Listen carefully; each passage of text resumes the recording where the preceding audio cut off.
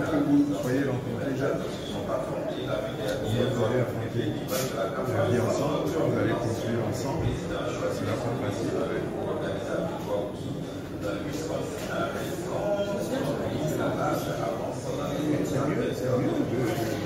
Et surtout les jeunes maintenant. Comment tu es passé avec les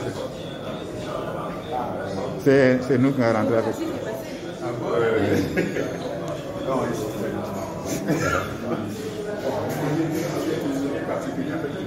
Ils ont des consignes. Ils font tout pour. euh,